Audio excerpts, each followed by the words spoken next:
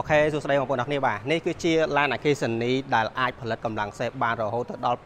578 horsepower បាទបងប្អូនស្ដាប់អត់ច្រឡំទេគឺ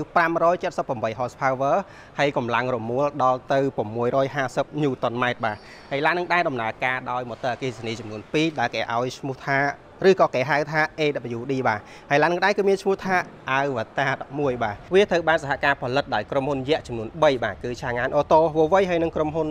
CATL បាទវាអាចបង្កើនសន្ទុះពី0ទៅ100គីឡូម៉ែត្រចំណាយពេលវេលាត្រឹមតែ3.9វិនាទីតែប៉ុណ្ណោះបាទហើយ top speed គឺអាចបើកបរដល់ទៅល្បឿន200គីឡូម៉ែត្រនៅក្នុង1ម៉ោងហើយបងប្អូនមើលរូបរាងទៅបាទ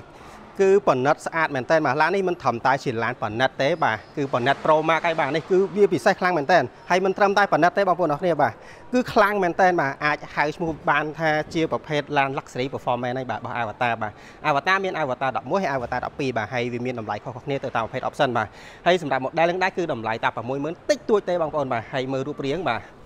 អានេះដូចដូចជាស្អីទេបងប្អូនអរគ្នាបាទដូច ទៅនឹង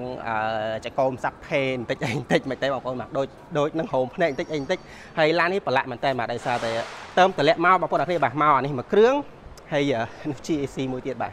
GAC GN 8ហើយសម្រាប់ឡានមួយនេះដែរបងប្អូនបាទគ្រាន់តែកាមេរ៉ាហើយនឹង sensor បុកជាមួយនឹងរ៉ាដារបស់វាមកជុំឡានហ្នឹងជាង30គ្រាប់បងប្អូនបាទមុខ6គ្រាប់មានកាមេរ៉ាបាទកាមេរ៉ារ៉ាដាខាងនេះទៀតបាទដោយសារតាឡាននេះគឺជាប្រភេទអឺ បើកបរបានដោយខ្លួនឯងបាទអញ្ចឹងគឺ sensor radar គ្រប់កន្លែងបាទយ៉ានកង់ទំហំ21អ៊ីងបាទហើយយ៉ានកង់របស់វាគឺធំមែនតើបាទហើយនេះបងប្អូនអរគ្នាបាទ radar កាមេរ៉ា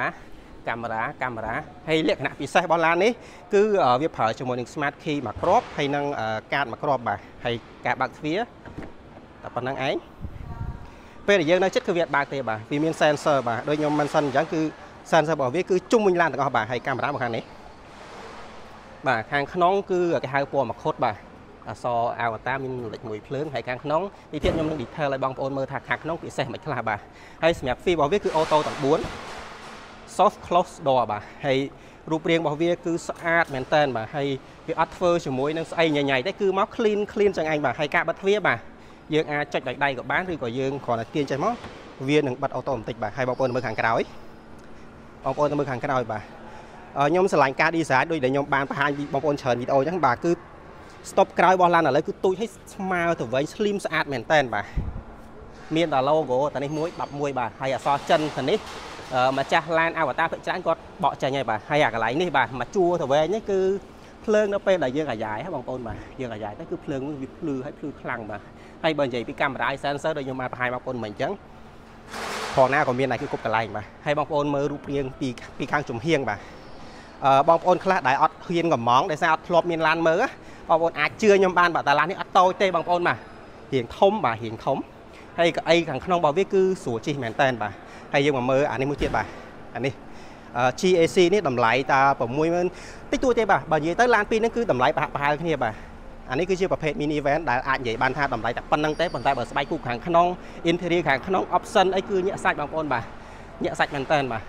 អានេះចិនចិនសុតបាទ ចិនហើយចិនសុតទៀតបាទចិន100%តែម្ដងបាទហើយមើលបាណាមើលអីគេមើលគឺអំណាចមែនតើហើយបងប្អូនតែងតែឃើញឡាននេះបាទឥឡូវគឺប្រើច្រើនមែនតើបាទកាងបាទអំលិចហើយ logo វាធំអាកាមេរ៉ាឡាននេះគឺទំនើបខ្លាំងបងប្អូនអ្នកគ្នាបាទអញ្ចឹងបើសិនជាបងប្អូន មានចំណាប់អារម្មណ៍ទៅលើប្រភេទឡានចិនអគិសនីបាទមិនថា mini van មិនថាអីទេគឺបងប្អូនអាចធ្វើការកំងពីខាងយើងខ្ញុំបានបាទ មិញខ្ញុំបង្ហាញបងប្អូនពីខាងក្រៅបាទឥឡូវខ្ញុំបង្ហាញបងប្អូនពីខាងក្នុងពីលក្ខណៈពិសេសឡាននេះបាទយើងបើកទ្វារគឺទ្វារវាអូតូបងប្អូនបាទហើយនេះគឺខាងក្នុងបងប្អូនបាទគឺស្បែកសុទ្ធតែម្ដងបាទហើយប៉និតខ្លាំងណាបងប្អូនអរគ្នាបាទឡាននេះគឺប៉និតខ្លាំងបាទហើយខាងក្នុងវាអត់សូវមានប៊ូតុងអីញញ៉ៃទេបាទគឺគ្រប់យ៉ាងគឺអាចបញ្ជានៅលើដៃចង្កូត2នេះហើយនឹង touch screen នៅខាងនោះបាទហើយមើលខាងក្នុង interior គេបាទគឺស្បែកស្រួលអង្គុយមែនតែនបាទហើយដបូលគេគឺគឺចាក់3កង់អញ្ចឹងណាបងប្អូនបាទ ឥឡូវចូលទៅខាងក្នុងយើងចូលទៅខាងក្នុងវានឹងបិទទ្វារអូតូបាទឬក៏មួយទៀតយើងគ្រាន់តែជន់ហ្វ្រាំងវានឹងបិទទ្វារអូតូបន្តិចបាទហើយបងប្អូនមើលកាមេរ៉ានេះបាទអានេះដូច Tesla អញ្ចឹងបាទវានឹងបង្ហាញព័ត៌មានគ្រប់យ៉ាងជុំវិញឡានរបស់យើងបាទហើយដៃចកោតរបស់វាគឺផលិតពី Napa Leather បាទគឺ smooth ហើយយើងចាប់កាន់ទៅគឺវាស្និទ្ធជាមួយដៃខ្លាំងមែនតើបាទហើយខាងក្នុងស្អាតណាស់បងប្អូនណាស្អាតមែនតើបាទ ហើយ option វាច្រើនណាបងប្អូនមកឡាននេះ option ច្រើនមែនតើបាទ